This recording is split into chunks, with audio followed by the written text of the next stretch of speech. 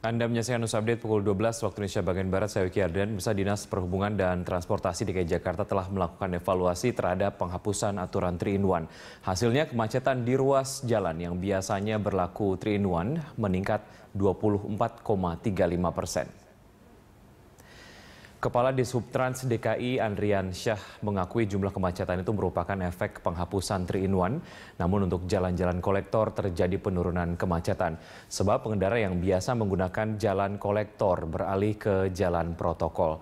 Sementara untuk mengurangi kemacetan di Subtrans, DKI akan melakukan rekayasa lalu lintas sebelum dan sesudah memasuki kawasan 3 in 1, sekaligus memasang rambu pengalihan. Di Subtrans, DKI juga akan mensosialisasikan rute jalan alternatif.